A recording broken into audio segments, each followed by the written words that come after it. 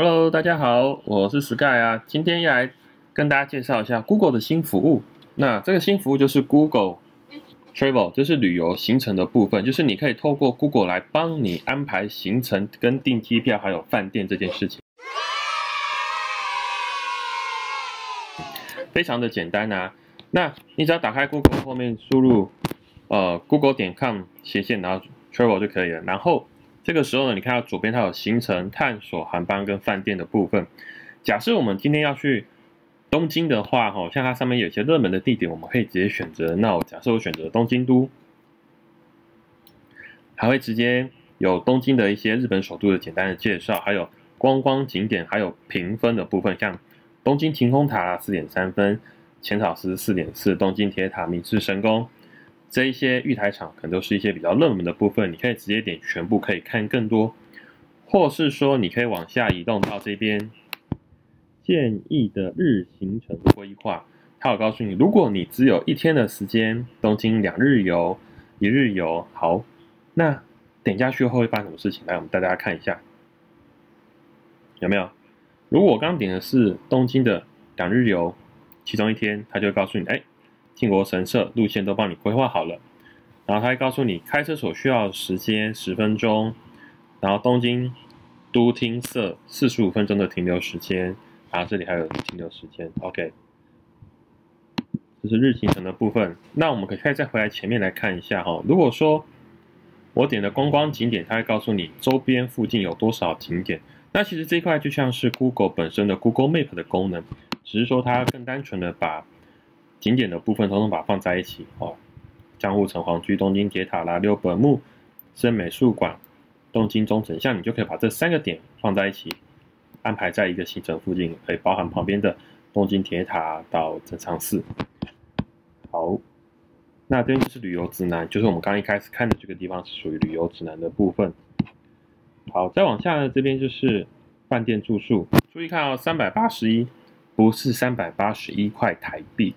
US 是三百八十一块美金，OK，好，那最佳的造访时机，它下面有告诉你，五月降雨几率二十八，六月啊，它的一个环境状况，然后还有旅游的影片，这边也帮你整理好了，哦，不管你喜欢看文字介绍还是看影片介绍，这边都有，甚至下面这边还有抵达目的地后可以查看更多的行程跟规划，我们大家前面走一个，怎么样？香根町、玉电厂是富士河口湖町啊，这样的一个路线规划，OK，好今天都可以给各位做一个参考。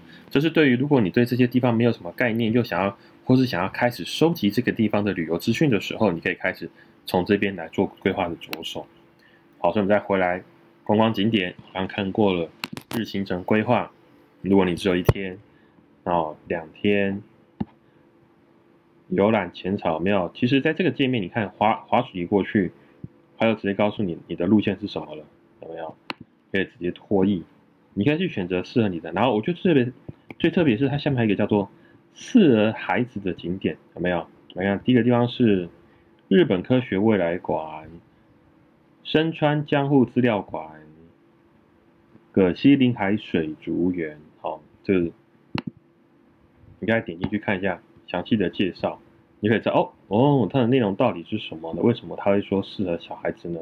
这样这个距离也没有太远。OK，好，那当我结束了日行程规划之后，我们接下来就要开始规划旅游行程的部分，就是你要从哪边出发？那当然就是不用二话不说，就是台北。那这边就可以开始，你可以选择从松山机场出发，还是从桃园国际机场出发。那这个时候就有票价，不要开心，不是八百五十四块钱，是美金。对，好，怎么调成台币呢？哎，我也还没找到，但是你们可以自己换算一下。好，OK，这然后这边可以直接订，有没有？像是桃子乐啊，然后酷航啊之类的，捷新日本。好，假设我们随便举一个，其实我下面是繁体中文的哦，哟，这边找到，我可以改变我的。价格，台湾在哪里？台湾，台湾，给我台湾去面谈。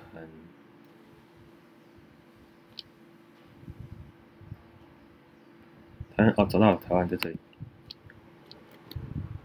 好，我会建议大家直接用台币比较简单的，好，像五三九九嘛，来回票价哦，哦，有便宜哦，这个便宜，那我们来看一下。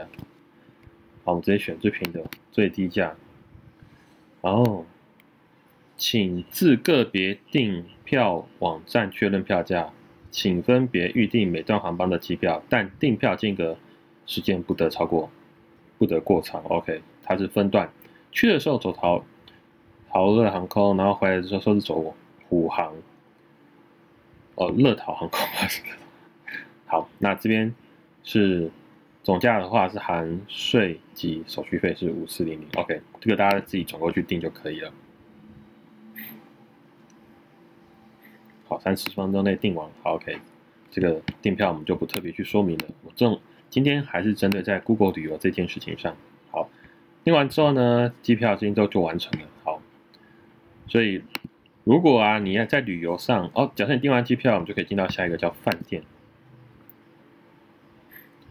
好，这个一八八一四二一啊，它一样有直接给你星等评鉴哦，所以各位在看的时候，其实速度快上很多。它甚至有时候可能比，我觉得比订房网站还的界面还好哦。第一个，我可以从右边看位置，然后左边看看价格跟照片。举例好，我们点一个。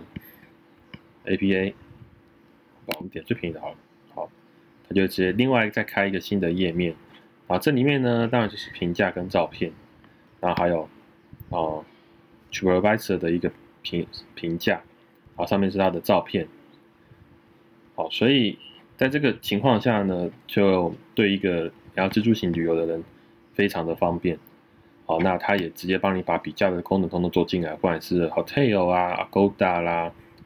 Price 啦，然后是 Booking 都搞定了，对不对？好，那今天就是要介绍这个 Google 旅游给大家参考。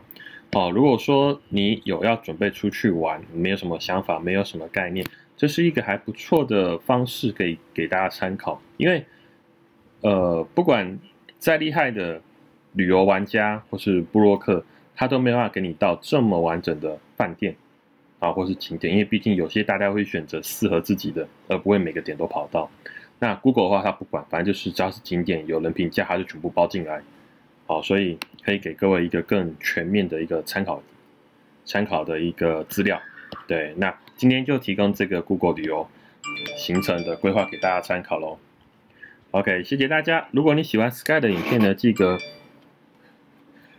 记得订阅 Sky 的 YouTube。IG 还有 Blog，谢谢大家，拜拜。